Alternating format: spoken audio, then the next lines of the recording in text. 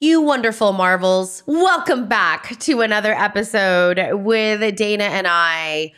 Um, I was just saying to Dana that um, Dana and I usually start, we usually have some conversation before we start our episode. Yeah. So depending on what that conversation is, we come in really, really laughing or or just kind of giggling. But it's always yeah. We do laughing, on some level. Yeah, yeah, it's really great. It's true. Um, hey Dana, Uh, so you've shared this quite a bit mhm. actually on our on our podcast but it's come up quite uh, like a lot for me as i'm supporting different adults whose sensory systems who being in their body is so hard Mhm, mhm. that they it's really kind of taken them out at the knees and it just made me think of like all the body work that you've done i i, I wonder if we can just talk about what body Yeah, work is yeah. and where where the field is with this and and maybe what it can alleviate you know Yeah, you know, I I started uh, therapy way back in the '80s. Um, you can do the math, but uh, and my uh, mom had been in uh, what's called bioenergetic body work for a long time. Like, I, I think part of my going into it was like, oh yeah, this is what you do because my mom had done it so many years. Um, and there's a sort of there's a history behind it. There's a guy that had uh, named Wilhelm Reich who had some really good, interesting ideas about how energy movement uh, gets housed in the body, and most specifically how it gets blocked. And he he borrowed a lot from Asian medicine and a lot of things that were kind of seen as, oh yeah, of course that's a thing that the Western world didn't. Um, he kind of went off the deep end as a lot of kind of genius people do, and ended up being prisoned, and he kind of got a little crazy there. Um, but he had a guy that was training under him named Alexander Lowen, and Alexander Lowen, um, I think it was like in the late '70s when Primal Scream was a thing, and so on. Um, developed this type of therapy. Um, and there's a book, I, I, I don't think it's in print anymore, but you could probably find it, uh, that shows these various postures that you can do to sort of open parts of your body up that are that are cut off. So the, the best way I can describe it to like a lay audience is um, if you watch, like if you have a little baby or you have a you own an animal, watch how they breathe. So they breathing actually is supposed and yoga will teach you this. One of the first things they teach you in martial arts or when you go to do yoga or uh, relaxation is how to belly breathe, right? Your diaphragm is supposed to lower, that's what pulls air into your lungs and then when you breathe out, your stomach should go down. A lot of western cultures, especially for women, it's all about, you know, holding your stomach in and looking thin. And then if you are in a meeting sometime, just look around the room and le- watch how all these sort of socialize people to cut off their breathing breathe. It's all like chest breathing and they're not taking breath deep into their bellies. So this basic idea of even something as vital as a life breath being curtailed is kind of one example of how our bodies can over time um, lowen talked about it as armoring so uh, where all of us tend to hold stress in certain parts of our body um, I, I personally think some of the meaning they put on the various parts was a little bit mechanistic and it was a little bit like, oh, you hold it in your throat. This is must be what happened to you. That stuff's kind of ridiculous. But I do think that um, places that you hold tension in your body are, are sort of how you do yourself, right? So body work is predicated on this idea of things that happen to you growing up or traumas or chronic stressors you hold somehow like with muscle tension or like not breathing or other parts of your body that you sort of cut off from. So body work is meant to uh, it's really a, what we call an abreactive tool meaning it's a tool that we can use in therapy to access feelings. So there's all kinds of that you can talk to someone and say how do you feel? And they can tell you how they feel. Um, you can do uh, something like body work where it's not hands-on but there are these what Lowen calls these grounding positions. And he did a lot of studying with indigenous folks in uh, Nepal and areas around there that would do these things called sun salutes. Probably people that do yoga will know what that looks Mhm. like. It was basically these stances that having your feet flat on the ground and really feeling like your center or what martial arts calls your hara being in the middle. So like if, if someone were to come by you and try to push you over, you're you're grounded. That's the reason they call it grounding. Versus like soldiers who are taught to stand with their feet together and their knees locked. It's actually pretty easy to knock them over because their knees are locked. Their center of gravity is really high. So borrowed a lot of these ideas of that grounding feeling. And so for me, that's the first things I did in therapy. My therapist taught me how to do some of these grounding positions. Um, I thought they were super weird. I thought these people are out of their mind. What the? F- oh, there, there's going to be a bleep. Sorry. Uh, and I then I did them. Like, all right, well, you know, I was like 21. I and I was still like, you know, authority telling me what to do, and I'd be like, sure, how high should I jump?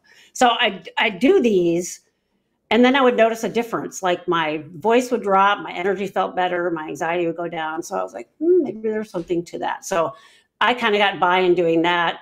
Um, what you don't see a lot of now, but was probably a little bit more popular in the 70s and 80s, was the type of body work that therapists would actually touch you. And there's so much worry about liability now and things like that. that It's really hard to find. There are practitioners that still do that, but it's it's kind of harder to find because they can't get insured. As soon as you're going to lay a finger on someone, you know the, the liability insurance won't cover it. For Yeah. me, though, I did a lot of work with my therapist that um, we call mat work. Had a lot to do with if I came in and said my throat feels really tight or my I can't breathe today, my chest is really tight. Even just soft touch to that area, I would access my feelings. My feelings would come up, and I would, you know, feel the feelings and and do whatever was there, and then we would talk about it afterwards to kind of integrate it.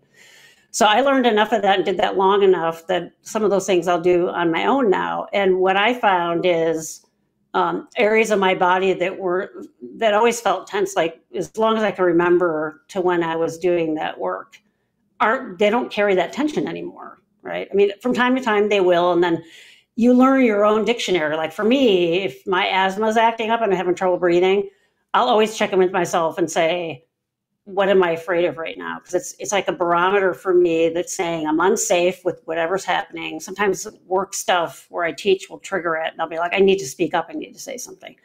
But that's what that means for me, not for everybody, right? Yeah. So it really is this pulling awareness to your to your physical self, paying attention to areas that hurt or are tight, you know. And for our audience, for um, neurodivergent folks, myself included, I think it's what really helped me with interoception cues and being aware of those because I wasn't prior to that. I, mean, I think the first time my therapist asked me, What's going on in your body right now? I started laughing.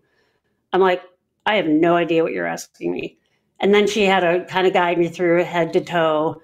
Does anything feel tight? And I'm like, no, I don't, I don't feel anything. You know, uh, and that was a problem. I don't feel anything. Uh, and then I was mad at her for a long time through those years because I would start to be aware of something and then it just hurt all the time. And I'm like, I liked it better when I couldn't feel stuff because this hurts. And she's like, Yeah. I know, but keep going because it'll you'll get to the other side and then you get relief. And she was right.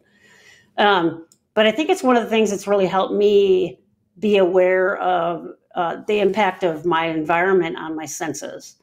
And you and I were talking before we started. Uh, my wife and I are big sports fans. We love women's sports. We were this weekend the NCAA basketball. They had a the Sweet 16. One of the regionals was in our city, so we went to go see that. So my wife is not neurodivergent, but she kind of has some sensitivities, traits like that. Sound is something that can get to her over time too. So we were there for about three and a half hours. It's very loud. You know, it was super fun. We had a great time. I ate enough popcorn to fill my entire body because I planned for that and I loved it. And then we came home. We were both pretty tired, you know, went to bed relatively early. The next day, I felt like I'd been hit by a truck on Sunday. I was so tired. It was sort of like this feeling of like um, if you're traveling somewhere and you haven't slept in four or five days, or you've been in the car all day and you get like that weird body buzz feeling. And it was good for me because I haven't been in it with COVID and everything else. I haven't been in a setting like that in quite some time.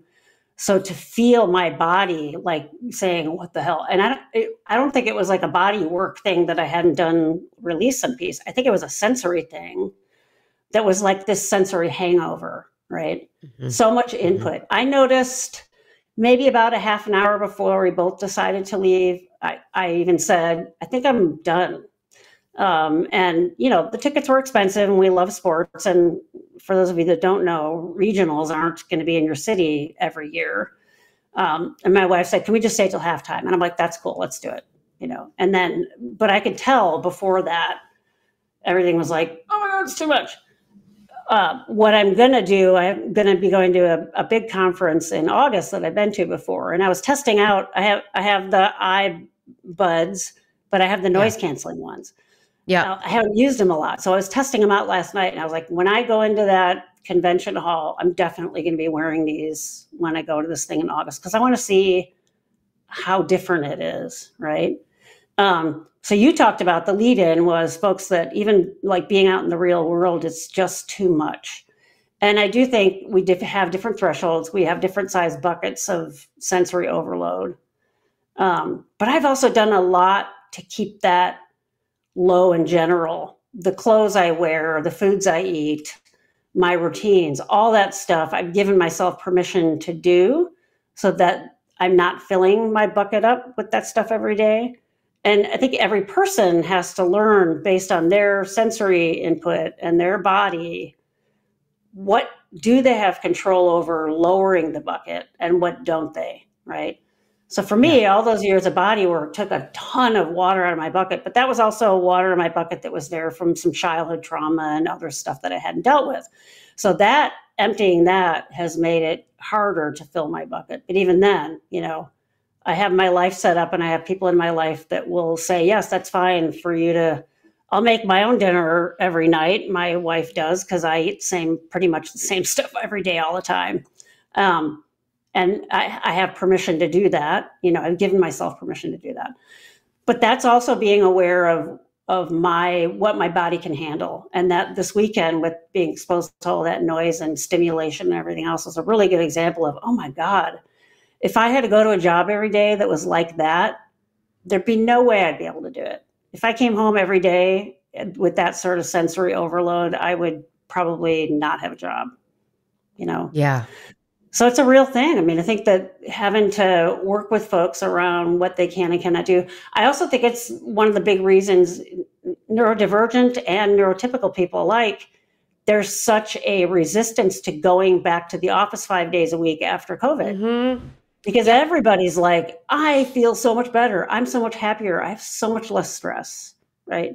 So I think everybody yep. can can relate to that on some level, depending on what that's there for them. Yeah, I you know it's like this hidden thing, right? Like it's mm-hmm, unseen. Mm-hmm. Yeah. And and then you know I've got you know these uh, the the clients that I'm thinking about are super bright, mm-hmm. highly verbal, Mm-hmm. And so you have these really, really articulate, um, witty, funny mm-hmm. uh, humans that other people think they're just trying to snow. You know, it's like what oh. you you can't leave your home. You like you you can't get a job. You can't. Oh, I gotcha. And yeah, they're completely, yeah. you know, overwhelmed um, yeah. with the amount of effort it takes to be in the world. And a lot of times I, I do think that's a sensory thing. You know, I've got I've got a lot mm-hmm.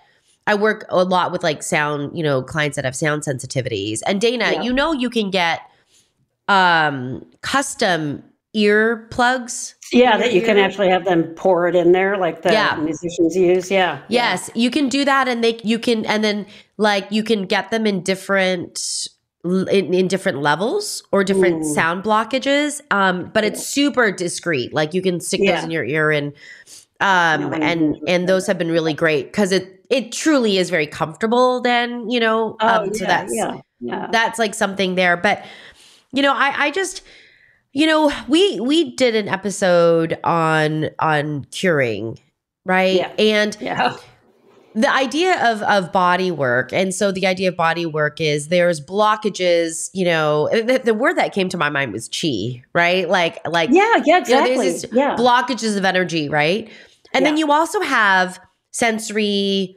integration types of of interventions that are really meant to reduce or recalibrate the registration of the sensory system, whether that's on the auditory level or a tactile level, um, which is where we tend to see like hypersensitivity or over, like being overwhelmed or um, right, right, you know, by sensory information in those in those areas. But you know, these are things to explore hmm hmm if that's something where you're like, "Well, I use my whole bucket Yeah. on just leaving my home to get cat litter.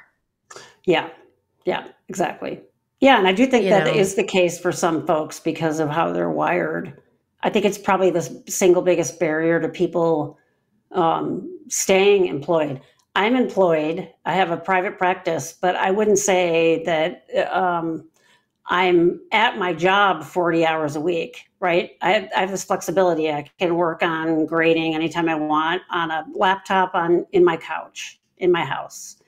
And I mm. think that's had a lot to do with it. I think back to times when I worked 40 hour weeks and thing, you know, and like when I was a vet tech and I was on my field, I'm like, how did I do that? A, I was younger. B, there was so much about that field that was so protocol driven and so routine Yeah. That yes, I came home tired, but it was also I didn't have to people a lot. You know, it was usually the vets that had to do the peopling. The techs are in back doing stuff and don't have to really talk to the general public all that much.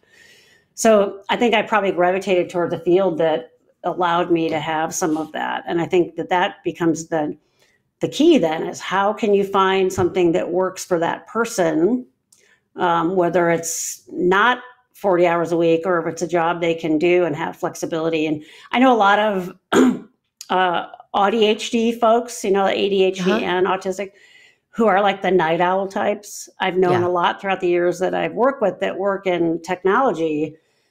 And it's worked really good, well for them. They're like, oh, I work for Microsoft. They don't care what time I get the stuff coding done as long as it gets done. And I'm up between, you know, 11 at night and four in the morning. They don't care. And Yep. that really that has worked for them. And in hindsight, I'm like, oh yeah, that person was on the spectrum, that person, right? But they have found jobs and fields that allow some of that flexibility for them, right? Yeah, yeah. Project based work really is it's a really nice thing. Um, I Right, will say it's it Yeah. because I like how I like how you use the word people, like you know, you know, it's Mhm. as a verb. You know, you don't Oh, need yeah. to people.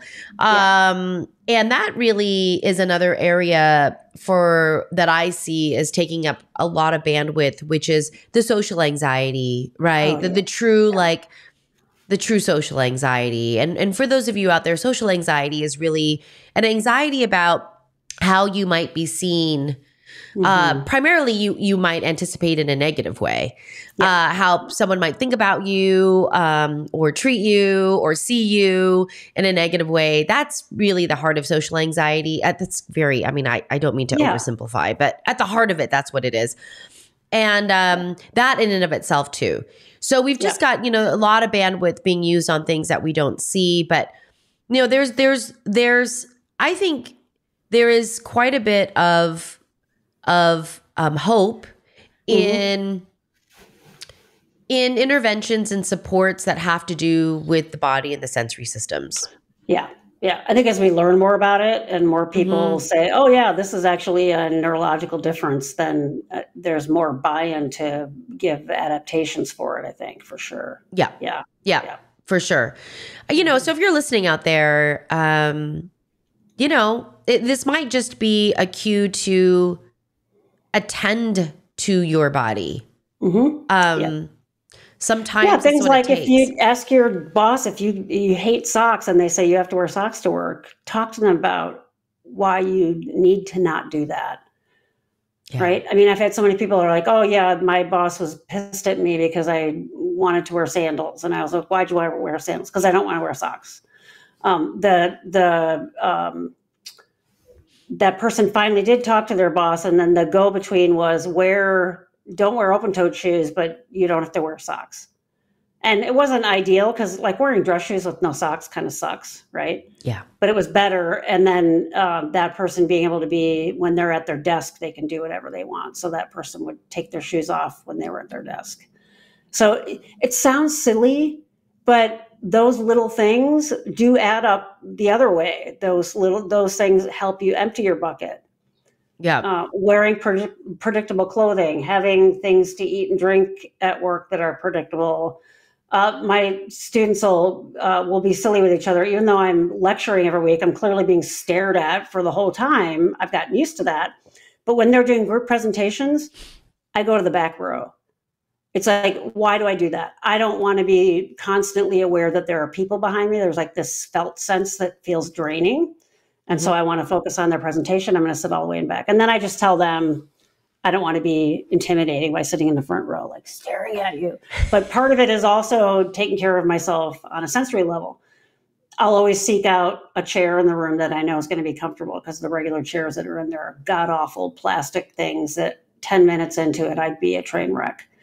So those kinds of things are sort of to me also within that realm of, of body work because you're doing that that uh, awareness of what your needs are to keep that load low from day to day. Right. Yep. This takes an incredible amount of self awareness, I will say. And, It and you know, yeah. how how often, I mean, if we had money, Dana, if we were paid for every time we use the word self-awareness, Yeah. Can we um, do that? you Will know, someone pay us for that? That'd be great. well, someone I thought we still haven't gotten our Diet Coke sponsorship. Yeah. okay. Yeah. Um, yeah, I'm just putting that back out there. But um, you know, manifest, manifest. You know, uh, to be able to be aware of how you're feeling, what you need, how to reduce, um, how to make things predictable, how to make things routinized so that that doesn't cause or any water to add, be added to your bucket. If anything, it it keeps things low. I mean, we talked about sleep Yeah. and how important you know sleep is a big factor in not Yeah. overfilling a bucket. Um, or keeping that bucket low. So there's lot there's lots of things, Yeah. but you know, I, I just I, I think for me as I'm working, that like I see this day in and day out in my work, in my clinical work, which is how do we address this neurological thing Mhm. that's happening in a way that is not threatening because it's like, oh, if I'm already so sensitized to even go out there, thinking about doing a Mhm. treatment or an intervention, yeah. Yeah. How do I get over that hurdle, right? It's a lot. Exactly. It's yeah. a lot. Yeah.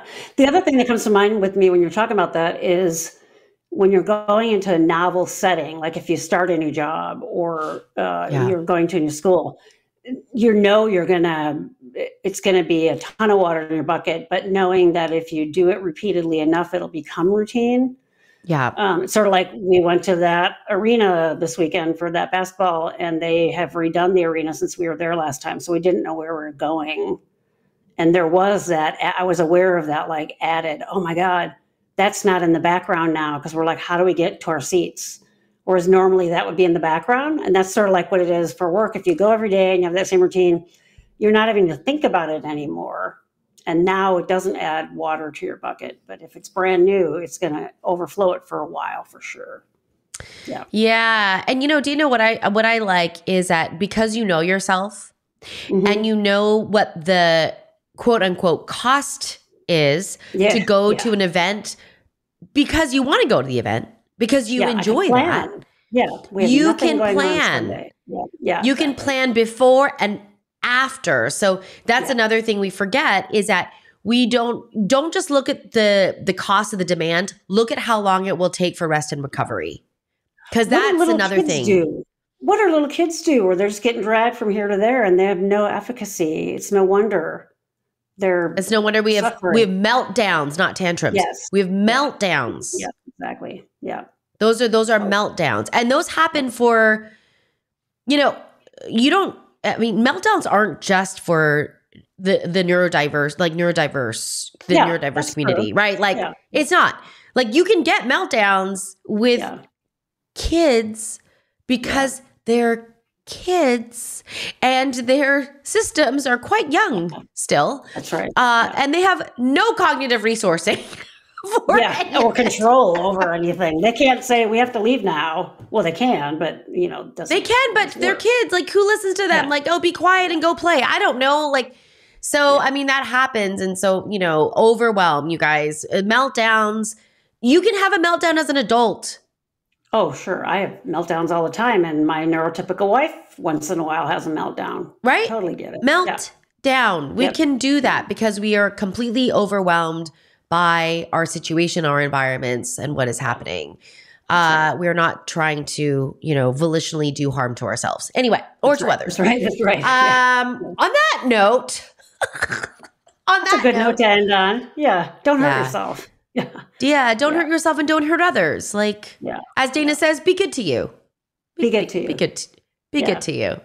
All right, everyone. All right, Marvels. We'll uh, we'll see you in the next episode. Bye. Bye, everybody.